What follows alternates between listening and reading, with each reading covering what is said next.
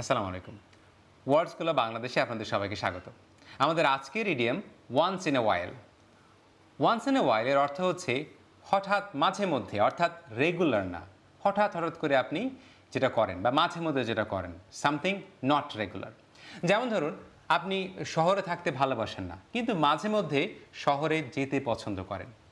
তাহলে শহরে আপনি মাঝে মধ্যে যান ওয়ান্স ইন আ ওয়াইল যান। কিন্তু ওখানে আপনি রেগুলার থাকেন না। এটাকে আমরা ওয়ান্স ইন আ ওয়াইল এই দিনটি ব্যবহার করে এরকম করে ইংরেজিতে বলতে পারি।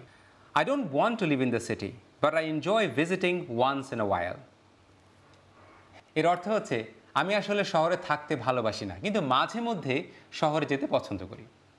আশা করি আপনাদের ইংরেজি কনভারসেশনে ওয়ান্স ইন আ ওয়াইল এই ডিএমটি ব্যবহার করতে আর কোনো সমস্যা হবে না। আপনাদের সাথে আবারও দেখা হবে। আজ এ পর্যন্তই, আল্লাহ হাফিজ।